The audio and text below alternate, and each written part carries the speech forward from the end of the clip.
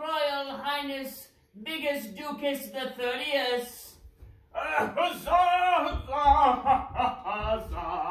Oh, don't rise for this old fool. Come now, everyone, be seated. Now, I come as your soon-to-be king and country owner.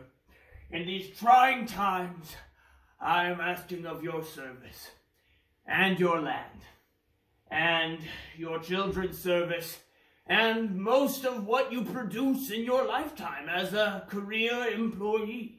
Well, I say employee for now. By the end of today, I hope to say serf. Yes, yes. I come now as uh, somebody who has done it all, tried it all. I've tried being a YouTuber. Not a single coin thrown my way. I have tried being a construction worker. Not a single nail nailed. Missed every time. Don't even know how I did that. And now I uh, stand before you in my luxurious uh, luxuries, my jewelry, my fine, my exotic pets. Oh, and I beseech ye to grant me what I rightfully deserve land, workers, and everything else that you have. I claim my kingdom to be that of New Mexico, which would be uh, the kingdom of Dukie, as soon as the, you know, people in there leave or work for me. Because who wants New Mexico anyway? I figured that was just a great place to start. We'll go from there. We'll go from there. You know, plenty of rich farmlands and all kinds of things in that desert. But let me tell you some of my qualifications as king. First off, I have a very refined palate. Ah, yes. I love to drink the green. Can't get enough of the stuff. Goodness. Ooh, ooh, little fancy pour there. Ooh, spilled some on myself. That's all right.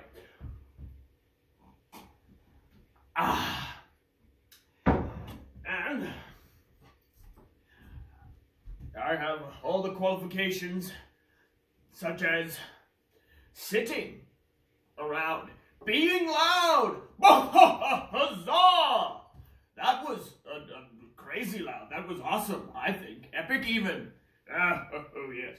I can point and say, You are a treasonous traitor.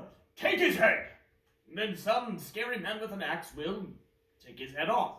If everything goes to plan. Don't worry. I'm really good at looking away whenever people are very sick from plague or whatever this new disease is coming out this year. I can't wait. Um, and I, I can take money and keep it for years and years, never sharing it with anybody. You know, I hear a lot of people are doing that now. Um, well, I guess less every day. So I'm trying to get in while I can. Ah, exquisite Babi Babel. A foreigner import. And you see me, kingly as I am, serving myself feeding myself, there should be a man with very clean, small childlike hands feeding me. Now, do you think that is right? Do you think that is fair? I beseech you, gentlemen, should I have to stand off of my gilded toilet and wipe my own holy bum? I dare think not. As a king, your rightful ruler, I should have every luxury this land can be scraped and pushed to provide.